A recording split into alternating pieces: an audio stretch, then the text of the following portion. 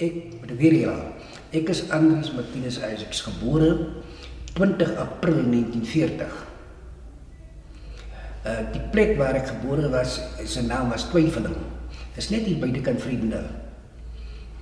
Toe dis jare daar gebly, skool daar gegaan, maar die skool het later gaan dood, soos hulle sê, tot niet gegaan. Toe dis verskeie Vriendendal toe dorp toe in. En my pa toe sy eerste werk was by die Blanke Hoërskool. Eintlik laerskool, toe het later hoërskool geword. Ons het die by die stasieskool gegaan elke oggend moet ons oor die brug gestap het.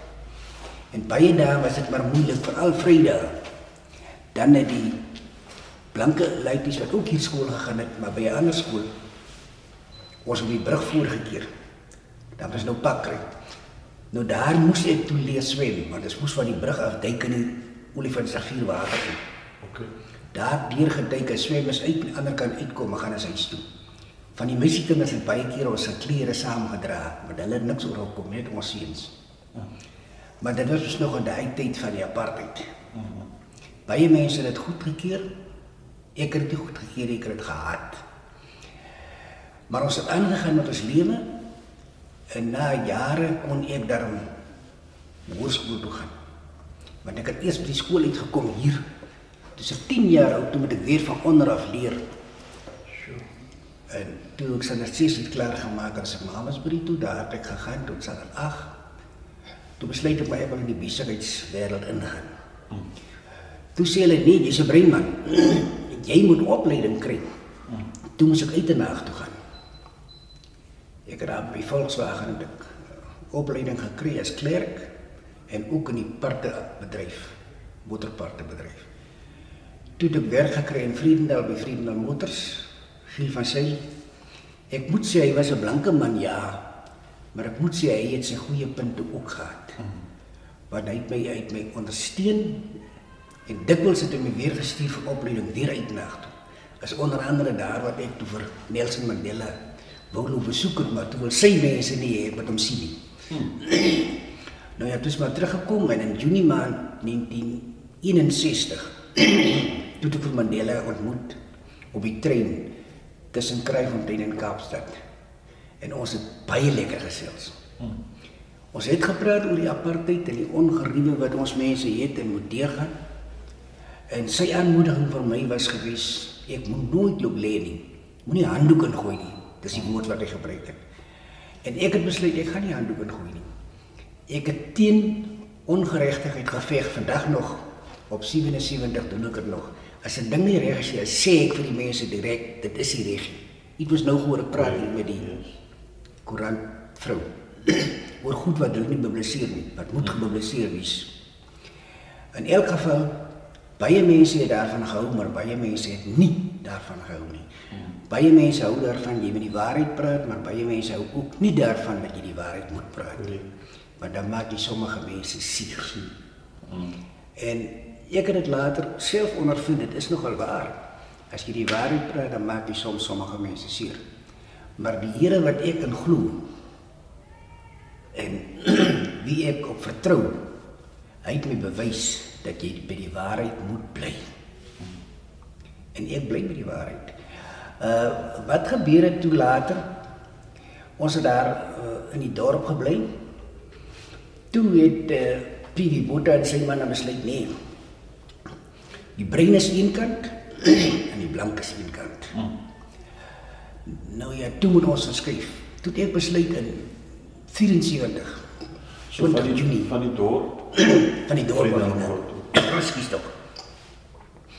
Toe het ek vir die manne gevra, moet ons nie afvaardiging stuur na die minister toe om met hom gaan praat daaroor nie. En sê dat as ons dit naby mekaar bly, uh, wat is die eintlike probleem? Want uh, daar het verandering gekom, die verhouding tussen wit en bruin het 'n bietjie verander. Het dit mooier geraak, ek het gestel het. Boeta sê toe nie verskuif moet julle verskuif want dit is die Suid-Afrikaanse grondwet. Toe het ons mos nou maar verskuif hierheen. En toe is hierheen vers voor is hierheen verskuif het moes ons eers die veld bou. Maak. Ons het naguur gewerk. Van saans 10 ure af tot 2 3 in die oggend. Ons gewerk.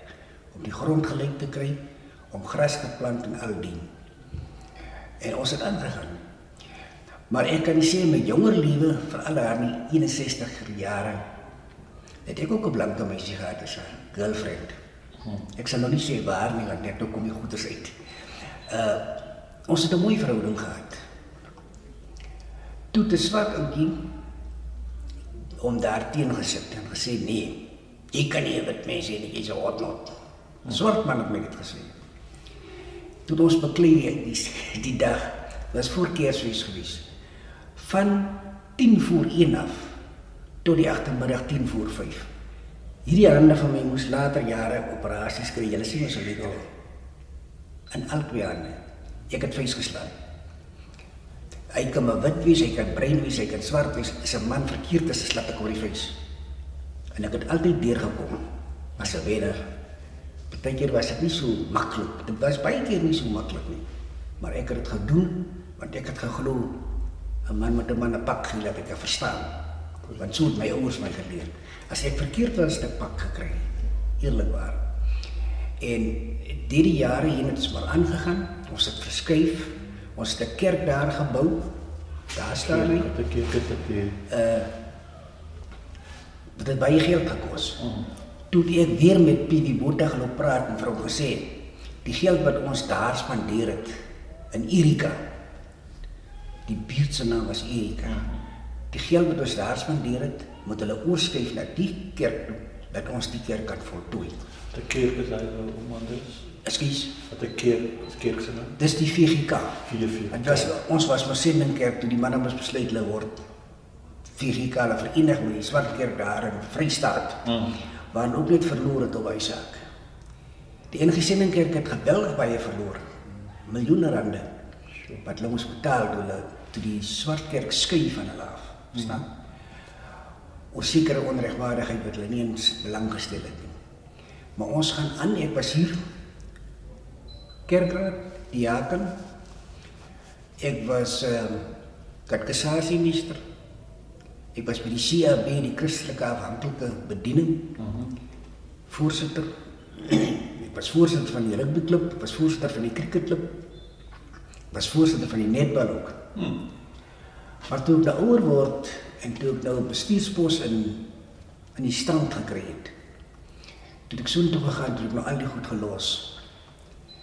En toe ek terugkom, toe bestaan die mense mos dan nog.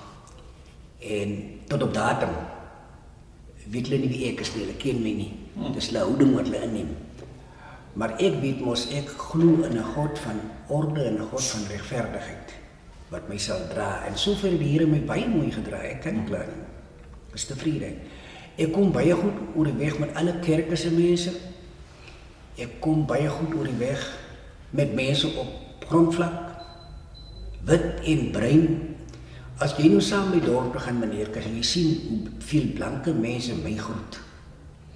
Dis al iets so ek het bereken op 'n dag. Toe sien ek 87% 87 uit 100 groet my. En baie van hulle groet my met die hand, omhels my en behandel my menswaardig. Maar daar tussen ons mense mense is wat jou nie eens traak van hulle kyk eens na jou kant toe nie. Dis 'n feit. Nou die goedes gebeur alles in die lewe.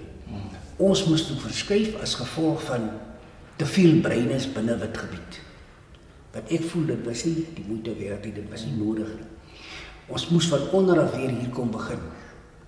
Ons moes die staat vra om ons by te staan om mense te help om om aan by om aan huise te kom. Wat die staat dan toe eintlik gedoen het. Ek moet sê dat 'n uh, 'n man met 'n baie groot bydrae tot ons ontwikkeling hier gedoen het was uh Evie de Klerk. Uh baie mense beskou hom nie as 'n held nie. Maar ek beskou hom as 'n persoon wat 'n persoonlikheid binne in hom openbaar aan die mense onder hom Mm. En langs hom. Eerlikwaar. Evie de Klerk het hy gesindheid gehad en hy het dit geopenbaar.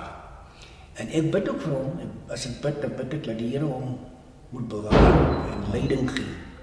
Hy het ook sy foute, want ons het almal ons het foute. Hy het ook sy foute. Maar ten spyte daarvan was hy 'n goeie leier. Hmm. Ons sit nou heidaglik met leiers in die land wat nie omgee vir ons mense nie. Dit gaan net oor hulle en dit gaan net oor geld. So. En solank as dit die geval is, sal die land stadig maar seker te gronde gaan. Julle kan dit mos sien. Die land is besig om te gronde te gaan. En ek sê elke dag vir die Here dankie as hy my opgewek het. Saans as ek kan slaap, dankie dat hy my die dag gedra het. Want alleenlik deur gebed kan jy dinge bereik. Jy kan net jouself bereik. Alleenlik gebed kan jou daar bring. En daarvoor is die Here baie dankbaar. Om Andrew sê vir my, so jy was 'n voertuigkundige, dis die loopbaan al die jare. Ek was by die parte afdeling ja. Okay.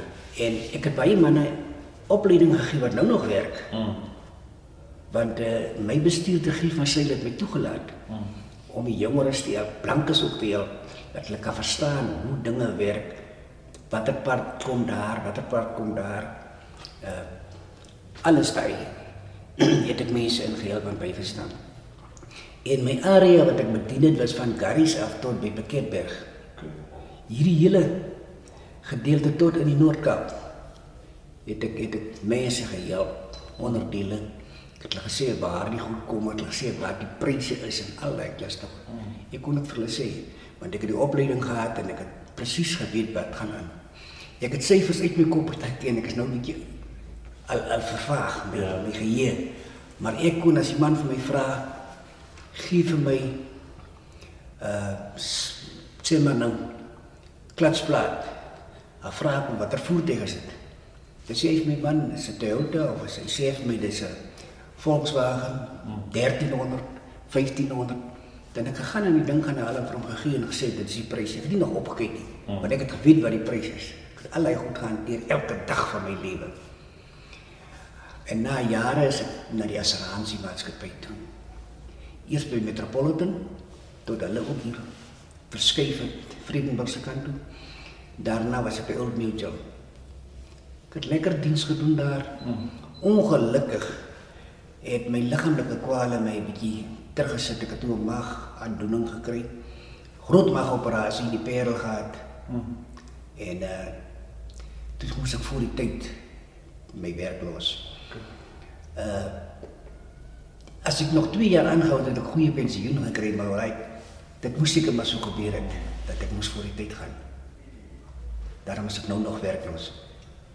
Maar uh, ek kla nie, ek gaan aan met die lewe want my oog is gefestig op Jesus Christus, die seun van Maria. My leier.